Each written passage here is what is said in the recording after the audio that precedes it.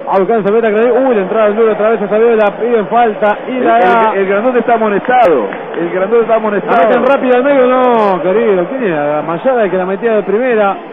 Y los hombres de temporada que ahora van a reclamar. Escuchame, la tiró rápido, la jugó rápido y ya está. Apretaba en el piso, no dio la orden. Tiro libre. No hay zurdo, ¿no? Sí, está, va Funemori. Ah, ya Funemori va a hacerse cargo del tiro libre. Dice, Vamos, mellizo, Le querido. pego al arco y ninguno va a decir nunca más estoy impreciso. Ya lo hizo una vez, ¿eh? Recuerdan hace poco, hace poco ya hizo un Por tiro. Copa Argentina. Y no fue nada mal, ¿eh? Cabenagui de derecha. Presénteme Melanie Ábalos. Este tiro libre de Ramiro Funemori. El mantenimiento integral que su empresa necesita, mantenimiento integral SRL, pasaje Hungría 1048. 29 metros del primer tiempo. Va Funemori para el primero de la tarde. Va Funemori.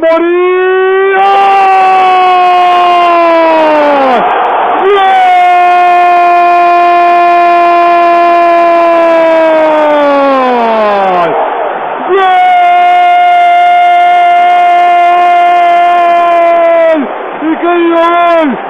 ¡Recontra, pero recontra! ¡Re golazo! ¡Golazo! ¡Golazo! ¡Golazo de River, de River, de River! De Funemori, de Funemori, de Funemori. Ramiro Funemori, el mellizo del bombonerazo. De tiro libre la clavó. Mario preguntaba, ¿tenemos un zurdo? Miraba entre los hombres de ofensiva y no había. Pero allá en la sala central había un zurdo y era Ramiro Funemori. Con le dio el segundo palo, la clavó en el ángulo. Nada que hacer para Federico Crivelli. Y en cuanto, amigo mío, en 30 minutos de este primer tiempo, gana River, gana 1 a 0. El mellizo del bombonerazo lo hizo Funemori, River 1, Temperley 0. No me jodan más, ¿eh? Te lo No me busquen. Te lo dije. No me busquen el lado gordo, ¿qué quiere que le diga? No me jodan con que es impreciso, con que mete la pata. Tiene un carácter de puta madre este número 6 de River. ¿Sabe por qué se lo digo? Porque no me voy a olvidar nunca más del bombonerazo. No me voy a olvidar cuando levantó la bandera para empatarle a Boca 0 a 0 por la, por la Sudamericana y venir y ganarle acá.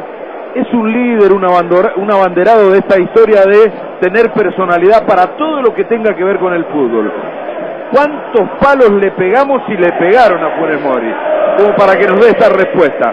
Puro coraje, puro fútbol, una zurda bárbara. Hace minutos pasó de largo en un cabezazo y la fue a buscar de vuelta con personalidad. River gana 1 a 0 a Temperley. Pero mire, por diferencia futbolística, pero fundamentalmente porque tiene un zurdo que se las trae. A la hora de un tiro libre, dijo Funes Mori, yo, y la clavó en un ángulo a cobrar. River gana 1 a 0.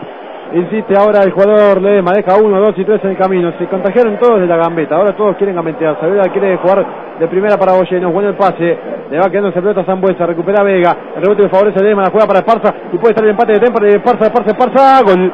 Gol de Temperley, Esparza lo hizo, llegaron a espaldas de Solari, mala salida de River.